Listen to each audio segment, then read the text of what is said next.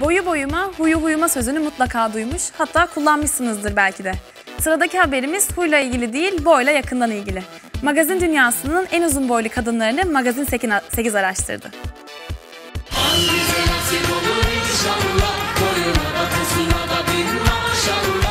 Hem güzeller, hem çekiciler, hem de işlerinde çok başarılılar. Magazin dünyasının en uzun ve en başarılı 10 kadını Magazin 8'de.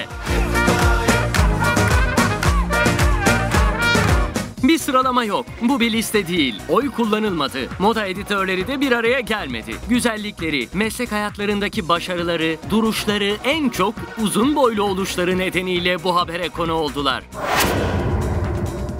Evet, Magazin 8'in bu haftaki ilginç araştırmalarından biri de en uzun boylu kadınlar araştırması. Dedik ya sıralama yok diye, en uzunlardan değerli bir isimle başlayalım. Yaktın. Yıktığın onca insanın cezasını çekeceksin sen. Mehmet Sayın Bey. 33 yaşında, evli ve bir çocuk annesi hanımefendi. Tanju Korel'in babasının desteğiyle oyunculuğa başlamıştı Bergüzar Korel. Bergüzar Korel 1.82 boyunda. Ya ne dedim biliyor musun demin? Böyle çıkıp şey diyeceğim dedim.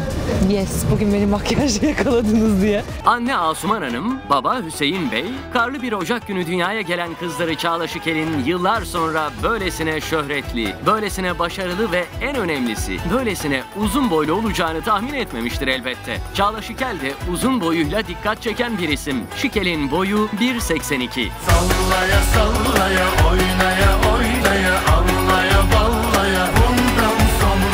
Beste fabrikatörü bir eşle evlendikten sonra Türkiye'de şöhret olan Chloe Ortaç'la devam edelim. Ben normalde her zaman sürprizler yapıyorum, hediyeler alıyorum. Bugün kocama bıraktım. Tamam aşkım. Aynen, aynen.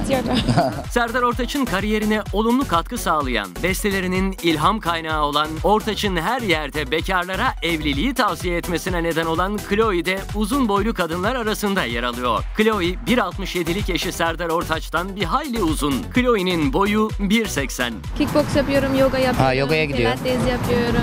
Podyumlardan sahnelere transfer olan Tuğba Özay da malumunuz uzun boylu kadınlar arasında yer alıyor. Podyumda da Survivor'da da uzun boyunun avantajını kullanmıştı Tuğba Özay. Bazı parkurlarda uzun boyunun avantajını kullanmıştı Dominik'te. Gizem Kerimoğlu düştü, Tuğba da düştü. 38 yaşında Tuğba Özay ve İzmir doğumlu. İzmir'in havasından, suyundan hayli yararlanmış. Özay 1.80 boyunda.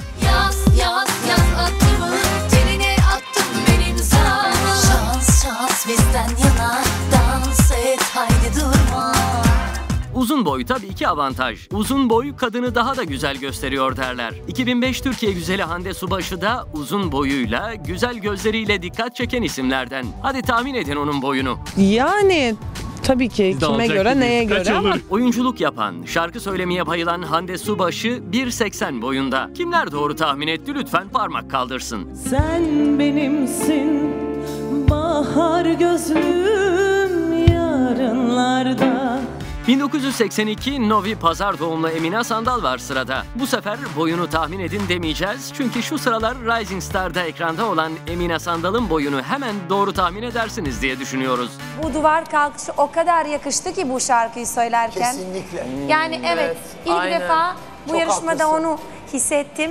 Dansçı, besteci, şarkıcı ve en önemlisi iki çocuk annesi ve iyi bir eş olan bir isim Emine Sandal. Uzun boylu olmasının sebebi de eski bir basketbolcu olan abiyi Mirsat Türkcan. Emine Sandal abi gibi uzun boylu. Boyu 1.78.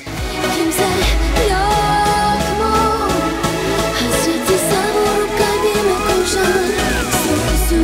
Evlenip çoluk çocuğa karışan eski manken Güzide Duran'ı da unutmadık tabii ki. 1996 yılında Best Model olan Güzide Duran iki çocuk annesi. Güzide Duran'ın boyu 1.83.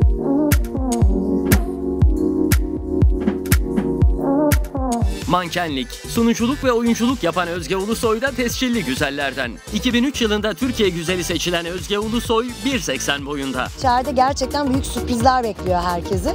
Siz de birazdan göre- göreceksiniz. Çok alışılmış bir şeyler olmayacak içeride. Gülen yüzü, bozuk Türkçesiyle hayatımıza giren 34 yaşındaki Azra Akın da uzun boylu kadınlar arasında yer alıyor. Yani eğlenceli bir film olacağını düşünüyorum değil mi? Keyif alacağız diye düşünüyorum. Baba tarafı Uşaklı olan Hollanda'da dünyaya gelen Azra Akın 1.77 boyunda. O konuda e, düşüncelerim var. E, şu an yazdığım projeler var. Bakalım.